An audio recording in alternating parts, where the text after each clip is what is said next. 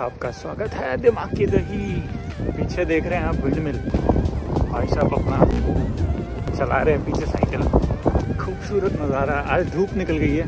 बहुत ही बढ़िया मज़ा आ रहा है। इस साथ में जो नदी है देख रहे हैं कि ये बहुत ही सही एक साइकिल ट्रैक बनाया हुआ है। और साथ में नदी बह रही है। इससे अच्छा और क्या हो सकता है? ये वाला पोर्शन थोड़ा सा छोटा और नैरो है, जैसे आप देख रहे हैं। अभी विंड मेरे साथ है, इसलिए काफ़ी अच्छी स्पीड मिल रही है। यहाँ पे पीछे कुछ लोग बोटिंग कर रहे हैं। बोटिंग क्लब है पीछे तो अभी धूप में बोट चलाएँगे। वो देखिए, एक साथ एक बंदा बहुत दूर मछली पकड़ रहा है खड़े होके। अकेला बंदा बेचारा मछली पकड़ रहा है, आज खाएगा लंच में खाना खाएगा पॉम्फ्रेट अभी एक ढलान आने वाली है। इस ढलान से नीचे जाएँगे, फिर ऊपर, एकदम से ऊपर है। ये, ऊपर। ब्रिज है। ये ब्रिज पहले काफ़ी एक साल तक शायद कंस्ट्रक्शन पे थी, पर अब ये काफ़ी अच्छी बन चुकी है। छोटा सा ही कनेक्टिंग ब्रिज ये वाला पार्ट काफ़ी ग्रीन है यहाँ पे ज़्यादा लोग वोग भी नहीं है। काफ़ी खाली सा पार्ट है, आराम से बाइकिंग कर पा रहा हूँ। आगे जाके थोड़ी देर में हमारा क्रिकेट ग्राउंड आने वाला है लेफ़्ट साइड में। तो मैं दिखाता हूँ लेफ़्ट साइड में क्या आता है। ये है हमारा क्रिकेट ग्राउंड यहाँ पे अभी एकदम खाली पड़ा है, सुना पड़ा है। शायद अगले महीने से हम लोग यहाँ पे खेल पाएँगे।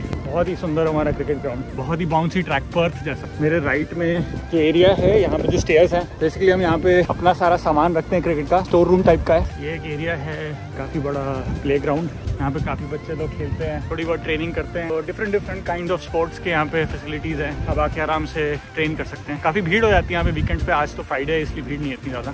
ये रेसन का पहला रेसन के एकदम अंदर का सिटी का पहला ब्रिज है मरियन ब्रुक यहाँ से और भी आगे आपको ब्रिजेस दिखाता हूँ। ये ऑलमोस्ट हम पहुँच चुके हैं आलस्टार्ड ये आलस्टार्ड का व्यू तो अमेजिंग है बहुत ही ज़्यादा अमेजिंग है। यहाँ का ओल्ड टाउन है। यहाँ पे आप देख रहे हैं कि साइकिलिंग ट्रैक भी बना हुआ है साथ में। बहुत ही खूबसूरत नज़ारा, साथ से एल्बे बह रही है। अब हम पहुँच चुके हैं आलस्टार्ड के अंदर। पीछे जो है ऑगस्ट ब्रुक है। ये ब्रिज काफ़ी पुराना ब्रिज सालों साल पुराना, सौ साल से भी पर इसको अभी तक रिपेयर नहीं किया गया है। बहुत सालों से इसकी रिपेयरिंग चल रही है। पीछे आप देख सकते हैं खूबसूरत आलस्टार्ड लेफ़्ट में देख रहे हैं कि बहुत सारे शिप्स खड़े हैं। ये शिप्स बेसिकली आपको क्रूजेस पे ले जाते हैं। एक घंटे के, दो घंटे के क्रूजेस होते हैं। और राइट में है art gallery art museum type president is basic बहुत ही फ्रेंडली आर्टिस्ट सिटी तो यहाँ पे बहुत आर्टिस्ट लोग रहते हैं। तो ये वाला जो ब्रिज है करोला ब्रिज काफ़ी बिज़ी ब्रिज है ये। सिटी के एकदम बीचों बीच सिटी के अंदर के नज़ारे बहुत ही खूबसूरत। अभी एकदम ट्रैफ़िक काफ़ी कम है। लोग ज़्यादा है नहीं रोड पे, पर यूजली वीकेंड पे तो ये पूरा साइकिलिंग ट्रैक भरा होता है। पीछे अब हमारे है अगुस्तस नहीं कौन सा ब्रिज था? एल्बर्ट ब्रुक एल्बर्ट ब्रुक भी काफ़ी पुराना ब्रिज है, यहाँ पे भी काफ़ी रिपेयरिंग चल रही थी एक टाइम पे। और इसके यहाँ पे जो खाली मैदान है बेसिकली यहाँ पे फ्ली मार्केट लगता था पहले, पर अब कोविड की वजह से बंद हो चुका है। साइड में बच्चे खेल रहे हैं, बच्चों के खेलने की एरिया पे राइट में एक बियर गार्डन है। यहाँ पे लोग पीते हैं अभी भी कोविड टाइम पे भी। एक फेरी भी है साइड में जो नदी के बाहर पहुँचाती है। आज वीकेंड नहीं है, इसलिए थोड़ा कम रश है। तो अब हम ऑलमोस्ट पहुँच चुके हैं घर।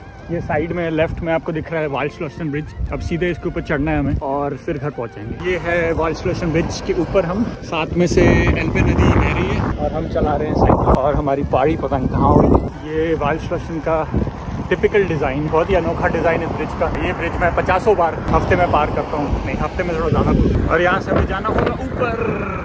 ऊपर चढ़ाई में जो वाट लगती है, वो मैं शब्दों में बयान नहीं कर सकता। यहाँ से व्यू देखिए ब्रिज का बहुत ही सुंदर व्यू हम काफ़ी हद तक ऊपर पहुँच चुके हैं। अभी घर बस दो मिनट दूर। पहुँच चुके हैं हम घर। अलविदा गुड बाय ऑफ़